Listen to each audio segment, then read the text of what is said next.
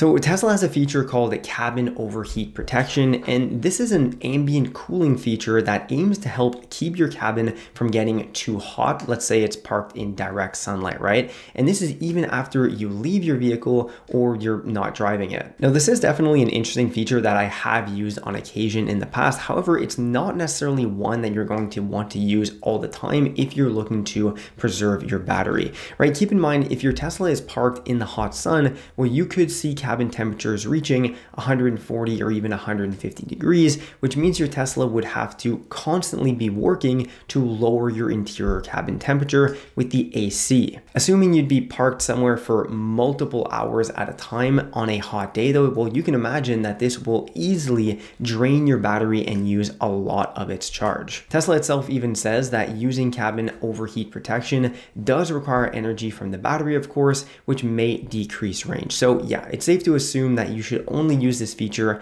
when daily driving and charging. On occasion though, I do keep it on during the summer months when my car is parked in the driveway in the beating heat to help the cabin stay a little bit cooler, but the car is also pretty much always plugged in when parked in my driveway, and so that is going to maintain the battery state of charge. Also keep in mind that this isn't the only feature you can use to cool your cabin.